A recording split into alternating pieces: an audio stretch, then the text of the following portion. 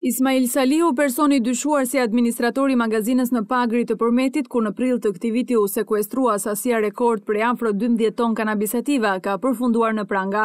Gjashtëdhjetë e një vjeçari ishte shpallur person në kërkim pasi Gjykata e Krimeve të Rënda në Tiranë kishte vendosur ndaj tij masën e sigurisë arrest me burg në mungesë, pasi kishte arritur të arratisej gjatë operacionit. Salihu u arrestua nga policia e Gjirokastrës ndërsa ndaj tij rëndojnë akuzat, prodhim dhe shitje e lëndëve narkotike, organizatë kriminale dhe kryerje e veprave nga organizata kriminale dhe grupi i strukturuar kriminal.